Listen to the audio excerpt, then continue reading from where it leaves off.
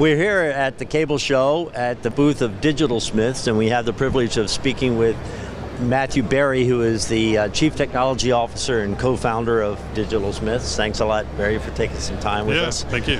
Um, so, from from a at least very public uh, perspective, Digital Smith is new into the cable industry, but un- under the radar, you've been working with the cable industry for a while now. Yep. Um, so I want to explore that a little bit, but let's start out just talking about what Digitalsmiths has been doing with discovery and how how your technology has been utilized across the web over these past few years. Sure, sure. So, um, over the last probably two years, you're starting to see a, uh, a merge between the cable industry and traditional web or content owners. So, when you look at how networks has been pushing content on the internet today, um, you're starting to see those same user experiences pushed into the service provider market. So cable operators are now forced to rethink how they drive different navigational experiences for the consumer, um, and a large part of that is done by discovery.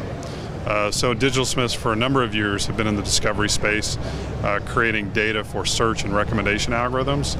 Those algorithms are now being used by service provider to drive discovery experiences for the consumer in the living room.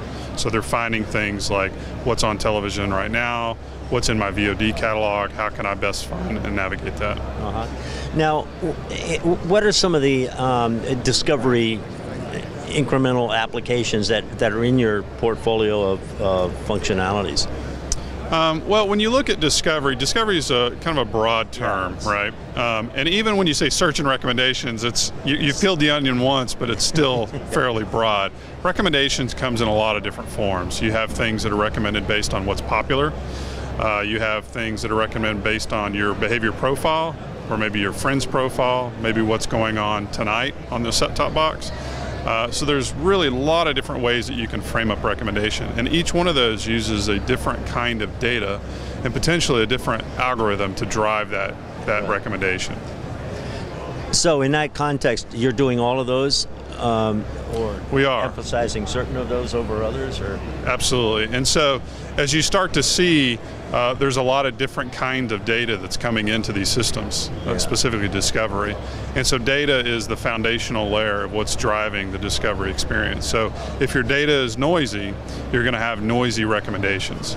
So you really have to figure out ways to collect and normalize this data uh, across many different data sets. And when I say many, now all of a sudden service providers are reaching out to a lot of different online providers um, so, for instance, like Metacritic or Rotten Tomatoes or Common Sense Media, those are just a few form, but there's literally dozens of these, and they all have unique ID sets mm-hmm. that they go by. So there's not a real common ID that they can play with, uh, and that's where we come in. So we ingest all this data, we aggregate it and normalize it to a single ID that allows the service providers to use that data. Are you doing something in the vein of, of actually creating metadata from multiple sources that it, not specific to this one or that one, but you know just basically crawling out there and digging stuff up to better define content? Is that an approach you take? That is. Um, for about eight years now, we've been working with the studios on helping them develop metadata. And we've developed what's called time based metadata. So it's metadata that describes what's going on inside the, the video. So specifically the scene or the frame of video.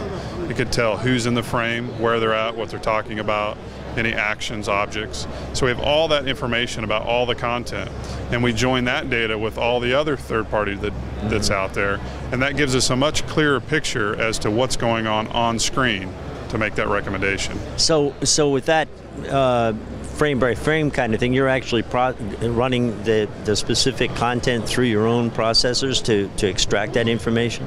That's right. That's right. So we get a lot of the, the video from the studios directly.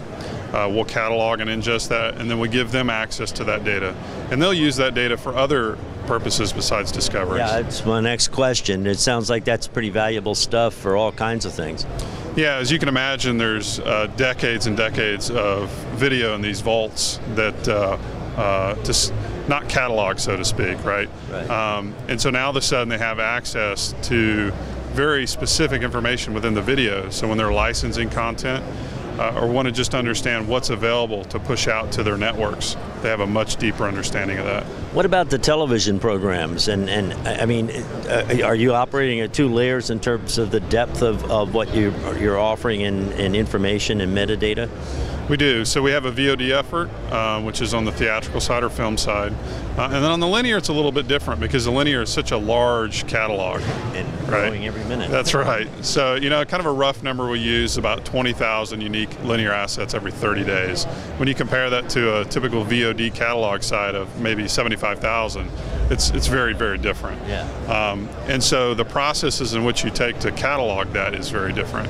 So we've elected to partner with uh, the networks to help them, and so we have a tool set that they use, and then they'll catalog that data for us. Versus on the theatrical side, we're doing it for the studios. How pervasive is that? Is it hit or miss in terms of which ones you're working with, or, or is, is there actually a, a, a, a database being compiled around television that is analogous to what you described with the movies?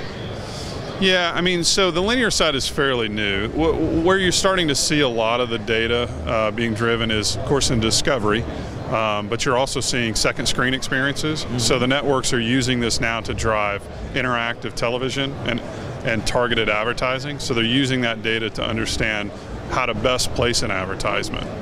But we think that that data really is, for us, is probably even more relevant to discovery because now we understand at a consumer level maybe why they're watching it because we understand what's on screen and we can correlate with what's on screen to their viewing habits, and then we can better predict what they might like in the future. Wow. So this isn't quite to NSA proportions of big data, but it's sounding like it's getting there. So you've introduced a service for processing this. It's um, something that people can use you for to handle all this. That's right. That's right. And that's been going on uh, for almost eight years. Um, and then it was about maybe three years ago that we saw the window of opportunity where we could start using this data in the living room. Um, and so search and recommendations was just starting to be talked about by the service provider market. Uh, and at that time, we started really ratcheting up our efforts around marketing to the service providers and working with them on different prototypes. And they like what they saw. Um, and today, we're the leaders in the North American market. So the, the, uni, the, unified data service, describe that a little bit and what, what that brings to the table. Sure. Um, so uh, earlier I was talking about how there was a lot of disparate third-party data sets, um, but probably more unique is the sense you have kind of two incumbents in the market. You have TMS and Rovi. They have their own IDs. Um, and then all of a sudden, if you start looking at a, number of other data providers that need to map that data to a TMS or Rovi. It becomes very difficult because there's just, as we said earlier, there's an awful lot of linear content out there. And so there's no real natural way to automatically reconcile that data together. So we approach the problem probably a little uniquely. We have an automated process that knocks out a good portion of it, but then we have a manual curation that will map all that data to a common ID. And then that common ID can be used by the service provider to reach out and and access a number of third-party services. So, for example, if they wanted to track uh, Twitter buzz, so they want to understand well, what, what are people tweeting about right now, relevant to what's on screen right now. They can take that ID, pass it into the systems, and get the current buzz or tweets that are going on about that television show. So you're able to actually, uh, from from a live standpoint, deliver a fairly immediate assessment of how something is, is translating in, in, on the social front. Yeah, absolutely. And uh, there's been a number of white papers recently released on how Twitter correlates to popularity, yeah. and we've seen that too. Yeah. Um, because we're the discovery experience in the living room, we see what people are watching, and we can correlate that to what's being tweeted tweeted about, uh, and we see a direct correlation between those two. So that's got to also be huge as far as planning for the content players and, and how they're rolling things out and trying things and, and, and even the service providers as far as what, what resonates with their marketplace. Yeah, so I, I think that uh, there's no question that that's happening, uh, but we're just at the beginning stages of it. So service providers today are uh, very quickly trying to figure out how they can get their time to market reduced in their next gen discovery experiences. And that's ultimately going to drive uh, better planning on how they roll out content and target content particular users. But I think that that'll start happening sometime next year. Yeah, so you have relationships with um, cable operators and service providers, um, it, it's some significant relationships that tie into their introduction of, say, uh, multi-screen services and, and, and that sort of thing. Uh, how how in, in, terms of long-term evolution how do you see them putting all this to use and, and you just alluded to some of that but uh, you know is, is this going to become, in your estimation, just part of their operations in a fundamental way, or is it where it drives some marketing, it drives upselling, it drives this, it drives that, or, or is it is it going to be kind of funneled into certain applications that are just happen to be with an IP device? Yeah. So I think if I were to if I were to evaluate that, you know, there's the nice to have and then the, the pains. And I think that there's without a doubt that this is a real pain point for the service providers. Um, and when you look at what it's doing in the living room, it's foundational because it more or less is replacing the guide. And as we know, the guide has been um, what you might call the home screen in the living room for a long time. And so I think the whole notion of changing the guide is a very important piece and one that they're not taking lightly. And because it's so centric to the core of their business can affect ultimately the top line revenue of their business, they're selecting their partners very carefully. Um, and they're looking at those partners in the sense, what are you solving today? And then what are you going to solve in the next five years for us? Uh-huh. Are, are, you coming in primarily with OEM partners like middleware suppliers and, and, and developers of, of UIs, um, you know, uh, user interfaces for the uh, specific service providers? Are you going directly to them and then they're saying to their suppliers, hey, work with these guys? Uh, most of our tier one customers are all direct. Um, when you start getting into the tier two, tier three markets, is where we start using partners, uh-huh. uh, simply because they just don't have the resources that the tier one guys have. Uh-huh. Um, but there's there's an awful lot of money being spent on the tier one side and developing a lot of these front end applications with respect to how it is affecting the actual user guides, are you seeing some pretty compelling applications of your technology in the context of some of these new guides? Yeah, although it's early, you know, everybody has their idea on what they think is going to work, and my guess is 90% of what we think is going to work is simply not going to work in the user experience. Um, they do have the benefit, though, is that there's been a number of folks in the market for a number of years, like Netflix uh, and Apple. And so I think they can piggyback on all the mistakes that they may have made to understand and learn from that to develop a better experience. Uh-huh. Of course, in moving moving from uh, the personalized uh, web devices from the PC down to the handsets uh, into the living room, you now have a new challenge, which is it's not about one person watching and discovering, it's about a whole bunch of people. Are you doing anything to refine how your system works in that TV experience versus the personalized? Yeah, so there, there's a number of approaches, and, and, I'm not sure today we clearly understand what's going to work. I think there's the issue of privacy that the consumer's worried about when they try to identify who's using that particular uh-huh. device.